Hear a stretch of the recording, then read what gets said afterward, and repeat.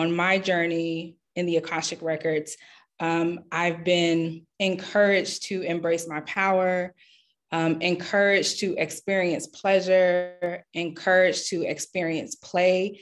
And I do not have any earthly examples of how to do that.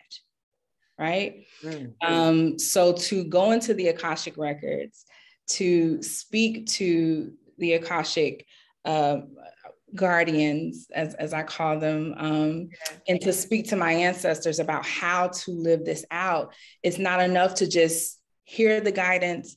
Um, we have to, I have to be an active participant in my healing journey as well. Um, so I hear the guidance and then I do it. You apply it. Right.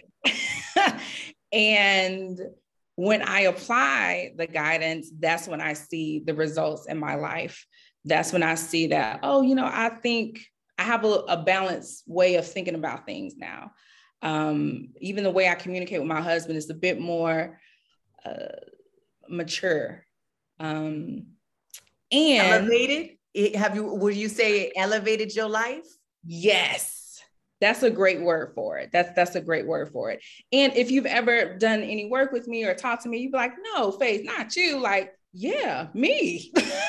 you know what I'm saying? Because there, there are always room. There's there's always room to grow. There's there's more things we can learn. There's there's um um more experiences that we can have that can, like you said, elevate our lives and transform our lives for the better. So for me, it's been it's been a game changer. Like I am, I will not miss a, a session. I just won't.